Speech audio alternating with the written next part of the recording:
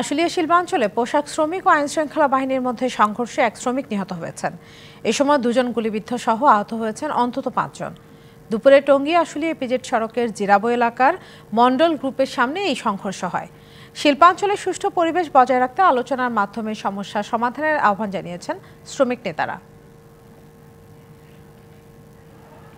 সোমবার দুপুরে দাবি দাওয়া নিয়ে ম্যাঙ্গোটেক্স লিমিটেড কারখানা শ্রমিক এবং মালিকপক্ষের সাথে আলোচনায় বসে যৌথ বাহিনীর সদস্যরা।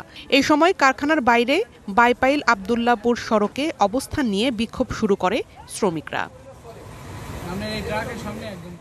নাশকতা ও ভাঙচুর ঠেকাতে পার্শ্ববর্তী ম্যাঙ্গোটেক্স গার্মেন্টস এবং ন্যাচারাল ডেনিম গার্মেন্টস ছুটি দেয় মালিকপক্ষ।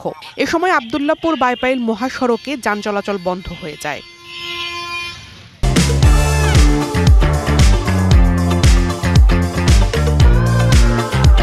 সেনাবাহিনী র্যাব শিল্প পুলিশ সহ যৌথ বাহিনীর সদস্যরা শ্রমিকদের সড়ক থেকে সরিয়ে দিতে চাইলে তারা সেনাবাহিনী এবং র্যাবের অন্তত পাঁচটি গাড়ি ভাঙচুর করে। পরিস্থিতি নিয়ন্ত্রণে আনতে যৌথ বাহিনীর সদস্যরা টিয়ার গ্যাস ও রাবার বুলেট ছোড়ে। এতে একজন নিহত এবং পাঁচজন আহত হন। এক ভাই মারা গেছে। ঠিক আছে আর তিনজন এলাম মেডিকেলে আহত। আমার মামা তো ভাই মারা গেছে যে আমি থাকতাম সাবার ফুলো মার্কেট সেইখান থেকে আসছি এখানে এসে দেখি লাস্ট মর্গে রেখে দিছে। নিহত কাউসার হোসেন খান জিরাবো এলাকার ম্যাঙ্গো টেক্স লিমিটেড কারখানা শ্রমিক। গুলিবিদ্ধ নয়ন ও রাসেলকে ইনাম মেডিকেলে ভর্তি করা হয়েছে।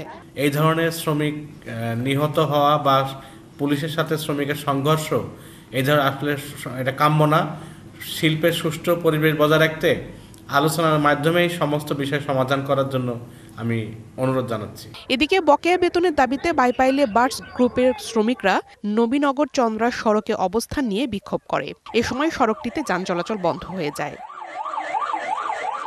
এছাড়া আশুলিয়ায় আঠারোটি ছাড়া বাকি সব কারখানায় কার্যক্রম চালু রয়েছে। শিল্পাঞ্চলের সার্বিক পরিবেশ স্বাভাবিক রাখতে আইন শৃঙ্খলা বাহিনীর বাড়তি নজরদারি রয়েছে।